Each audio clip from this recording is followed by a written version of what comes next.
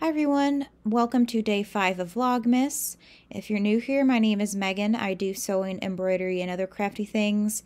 And in today's video, it is going to be a quick tutorial on Embrilliance Essentials and how to change your hoop perimeters, also known as your hoop settings. Um, so you know how big you want your design to be based on the perimeters to make sure that everything fits in, would fit into your hoop. So this is a pretty simple step, so let me just show you how to do this.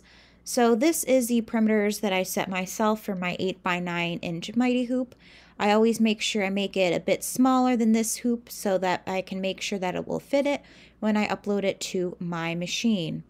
Now to change this, let's say if I wanted to change it to another hoop size, for example, if I'm changing to my um, Brother NQ 1600E embroidery machine, which can only go up to 6 by 10 I would go to Embrilliance, click Preferences, and as you can see, I already have some preset hoop sizes that I created myself, um, but you can create your own hoop sizes here as well.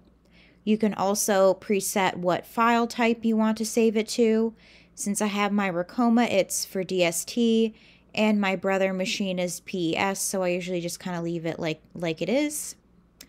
Now to create a new hoop size, so for example, if I wanted to create a 5 by 5 inch hoop size, I would go click new.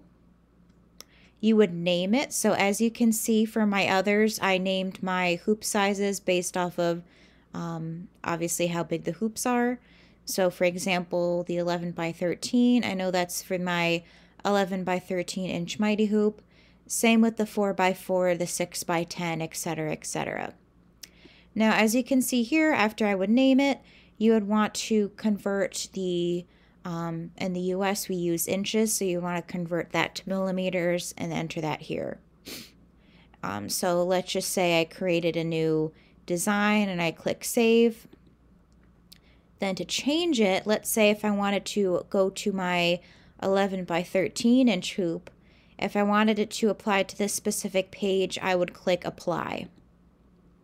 And as you can see, it completely changed. So now it has changed to my 11 by 13 inch Mighty Hoop size. So I hope you guys found this tutorial helpful. I know it was a quick and easy video.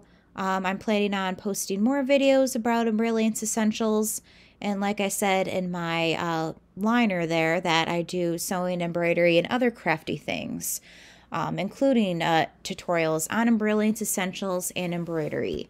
And as you can tell, it is day five of Vlogmas, so I'm planning on vlogging every single day up until Christmas time.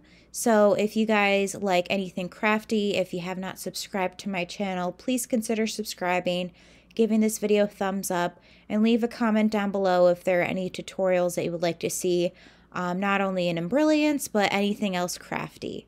So I hope you guys have a wonderful rest of your day, and I will see you all tomorrow. Bye!